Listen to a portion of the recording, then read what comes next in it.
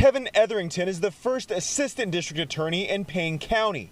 He's now facing a felony burglary charge in Oklahoma County. According to court documents, Etherington dropped off his daughter at his ex wife's house. When he did, court documents say he went inside her garage and took two jack stands. She called Edmond police, who arrested Etherington. Now he's charged with a felony. The ex wife, Erin Etherington, is an assistant DA for Oklahoma County.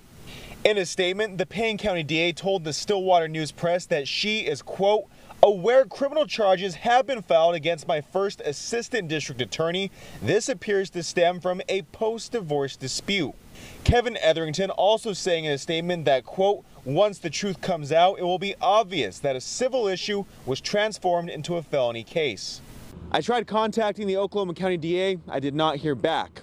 Zach Rael, KOCO 5 News.